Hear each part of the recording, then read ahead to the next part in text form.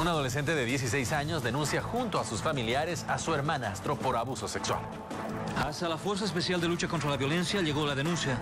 La menor de 16 años, acompañada de su madre, informó que es constantemente agredida sexualmente por su hermanastro de 23 años, que el calvario que vive data desde que la víctima tenía 7 años, que no denunció el hecho por temor a represalias.